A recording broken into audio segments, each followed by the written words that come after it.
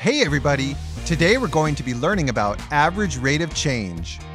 In order to find the average rate of change of a function on an interval ab, you need to find the slope of the secant line that connects the points a f of a and b f of b. But what is a secant line? A secant line is a line that connects two points on a curve.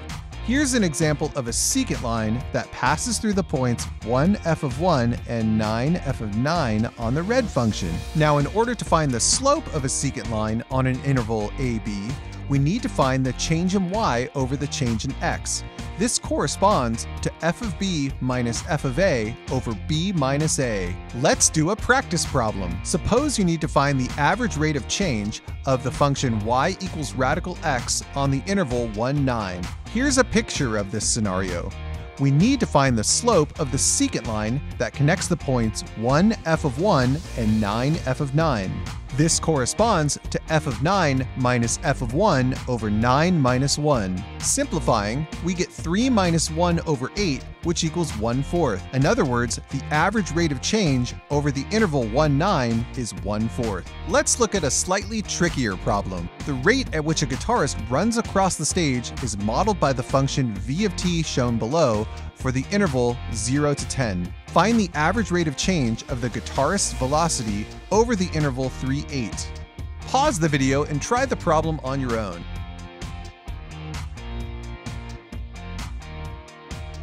So to find the average rate of change, we need to find the slope of the secant line that connects the two points. In this case, the name of our function is v of t, so we're going to use that and apply the average rate of change formula.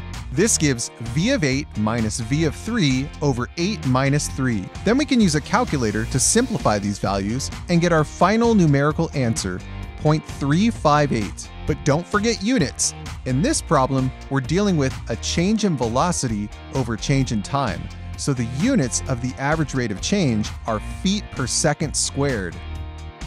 Now let's end with a conclusion statement. We can say the average rate of change of the guitarist's velocity over the interval 3-8 is 0.358 feet per second per second. And that gets us back to the context of the problem. So let's end with a question to ponder. How do you think you'd find the slope at a single point on a curve? In other words, how can we find the average rate of change at a single point? If we apply our average rate of change formula here, we would get f of 4 minus f of 4 over 4 minus 4, which is 0 over 0. In calculus, this is called an indeterminate form. We're going to talk about this more in a future video. For now, you need to memorize and truly understand that the average rate of change is the slope of the secant line, and this is found by f of b minus f of a over b minus a. And that's how you rock calculus!